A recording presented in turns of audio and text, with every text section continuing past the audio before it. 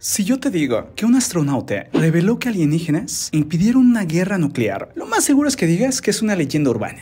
Pero si te digo que ese hombre fue Edgar Mitchell, un astronauta de la NASA, y sexto hombre en pisar la luna, y que todo esto lo confesó solo poco antes de morir, el caso ya te hace reflexionar.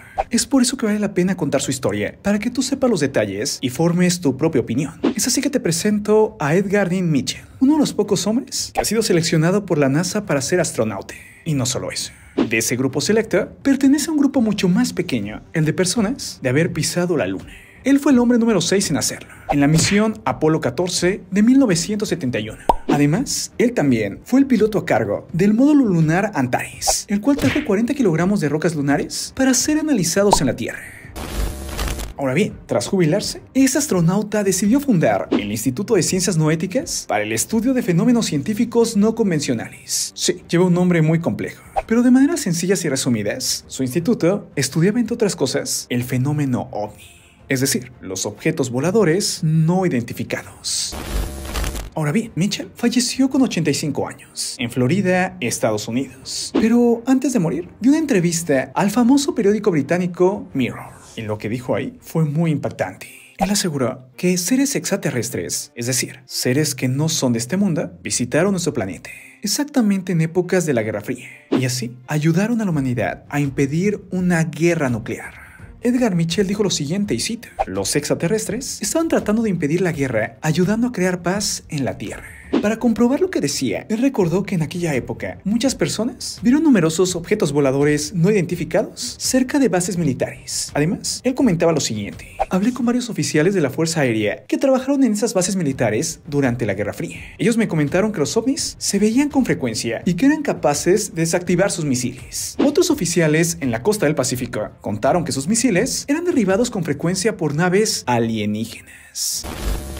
Ahora bien, en esa última entrevista, Mitchell dijo que los avistamientos y la existencia de seres extraterrestres fueron deliberadamente ocultados por los gobiernos, sobre todo por el de Estados Unidos. Y es que aunque el presidente de esa época, Harry Truman, convocó una comisión para estudiar lo que estaba ocurriendo y se comprobó que todo era real, en el año de 1974 se creó un acta de seguridad nacional, la cual ocultó información, incluso la misma existencia del comité.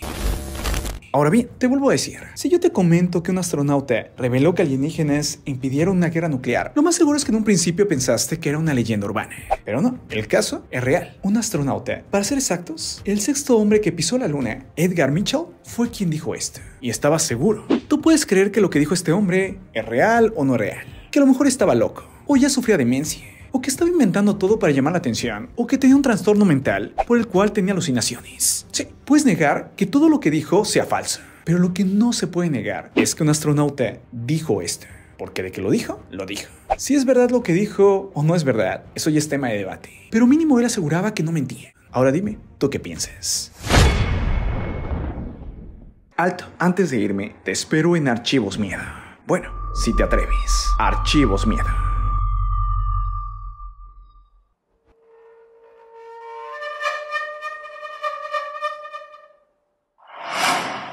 Yo soy Marco Antonio C. Y esto, esto es tu Cosmópolis. Nos vemos pronto, un abrazo fuerte, bye.